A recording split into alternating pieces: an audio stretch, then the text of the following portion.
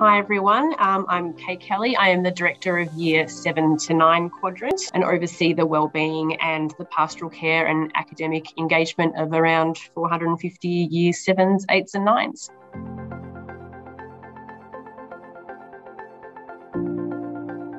The house period, um, as the name suggests, is conducted in houses, and there's five houses across year seven to 12 that the students are placed into um, kind of like a Harry Potter sorting hat when they first come to St Michael's.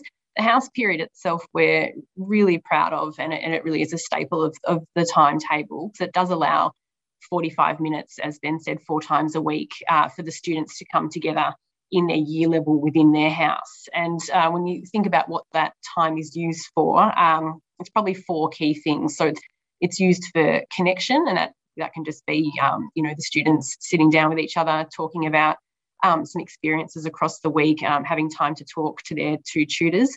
Uh, extension is another another um, frame within the house period as well. So sometimes there's uh, guest speakers or, or, workshops that we use that period for um, to not interrupt other other subjects or classes.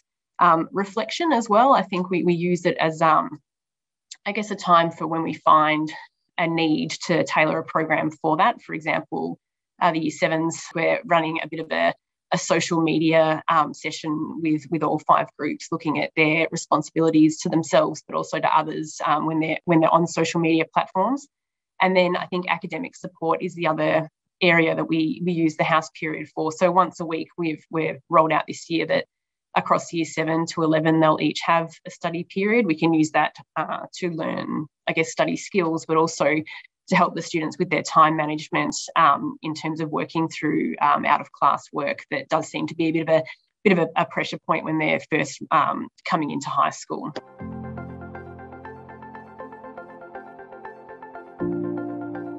Fundamentally, uh, when you're a, a, school that we would we would say we hang our hat on our well-being, um, that we are best practice in that area, and best practice means that every employee at the school is responsible for the well-being of our students. That's whether you're in maintenance or teaching maths or, or a tutor.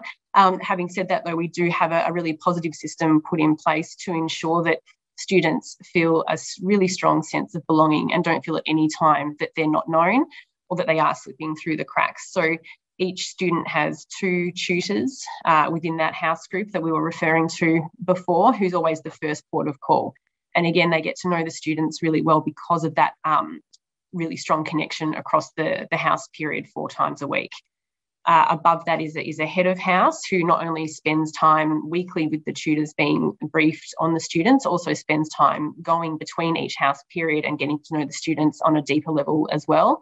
And then above the head of house is me. So we have this really clear triage system um, that ensures one that there's a, a, good entry level point for what we might call, you know, small um, well-being issues or, or, or, minor concerns, but then also really strong mechanisms put in place for students who uh, might find themselves in, in a, in, a, bit more of a, a stressful situation later on.